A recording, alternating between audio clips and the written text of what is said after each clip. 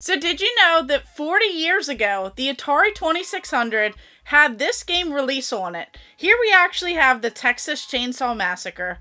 Now, this game was definitely a lot different for its time, and it did not do very well because stores often had to put them on the top shelf or they had to keep them behind the counter because the game was just so violent. You pretty much are Leatherface, you're running around with a chainsaw, and you have to kill everyone that's in your path. And I have one of the rarest items related to this. So I actually stumbled upon this awesome Wizard Video jacket.